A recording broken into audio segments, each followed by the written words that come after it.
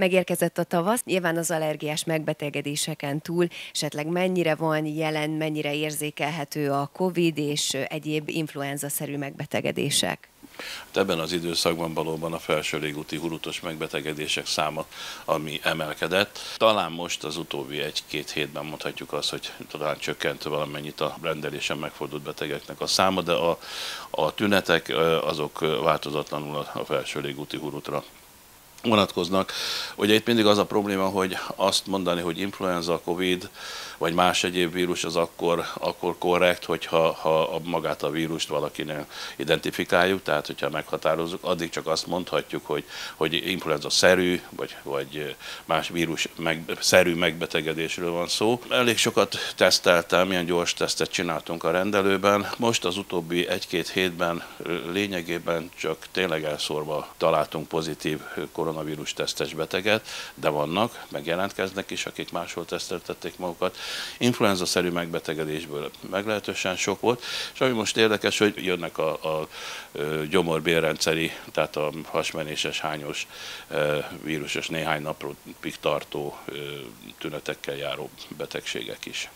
Ilyenkor mi az, amit SOS tehetünk? Nem kell egyből az orvoshoz rohanni, és önöknek is egy segítséget jelent, hogyha az ember, ha nem olyan veszélyes a helyzet, akkor azért próbálja otthon megoldani a problémát. Hát általában azt szoktuk javasolni, tüneti kezelés, tehát folyadékpótlás, vitamin, vitaminok, ugye ilyenkor azért tél végére az immunrendszer is egy kicsit elhasználódik, tehát vagy immunerősítőket javaslunk, nagyobb mennyiségű, nagyobb adag vitaminpótlást, folyadékpótlást, és hát a tüneti dolgokat, tehát kölgéscsillapító, köptető, esetleg lázcsillapító, és hogyha a tünetek súlyosbannak, akkor természetesen hát vizsgálat után akár antibiotikum vagy más kezelés is szóba jön. Most már ugye a lakosság nagy része be van oltva a Covid ellen, egy-két-három oltással rendelkezik. Kiknek ajánlott további oltás felvétele, illetve az influenza és a tüdőgyulladás ellen kapható védőoltást kinek kellene feltétlenül felvenni? Hát influenza elleni oltás mindenkinek javasolt lenne, még most a, a, ebben a hónapban is még javasolnám, hogy aki még nem kapta meg, az jelentkezzen érte. Koronavírus elleni oltást mi már régen nem adunk itt a rendelőben, interneten lehet jelentkezni.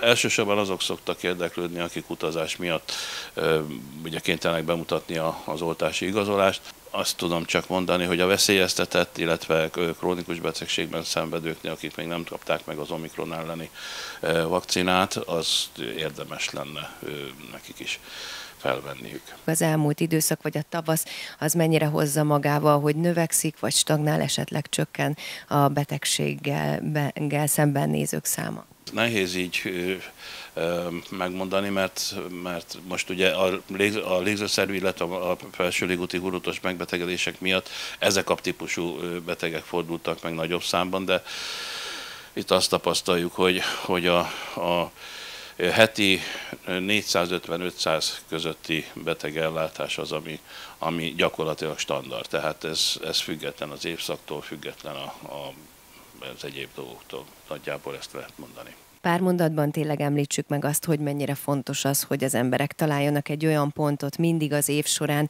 amikor a kötelező szűrővizsgálatokon részt vesznek. Ez szerintem jó időpont lehet akár az őszi vagy a tavaszi kezdés, akkor egy kicsit megújul a természet, és az ember egy picit így összekaphatja magát. Akár egy teljes vérkép, illetve e, ugye a különböző rákszűrések, ez fontos lenne betartani.